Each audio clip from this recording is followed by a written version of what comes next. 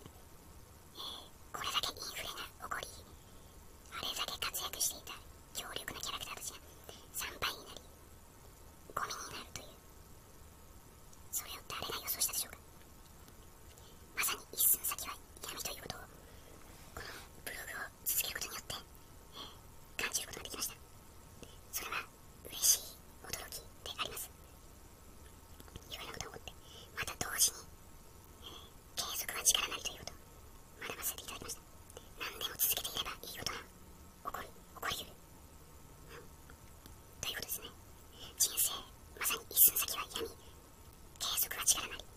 その2つをこのブログを通して、えー、学ぶことができました。